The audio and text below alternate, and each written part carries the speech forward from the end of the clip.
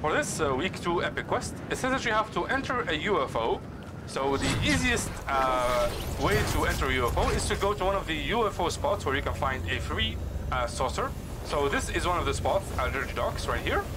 So as you can see, there's an empty UFO right under me. There's actually five locations on the map where you can find a free UFO for you to use.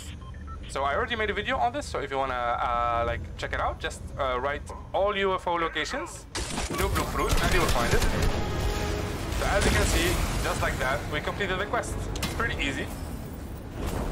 And yeah, that's it. That's all you have to do, and that should complete the quest.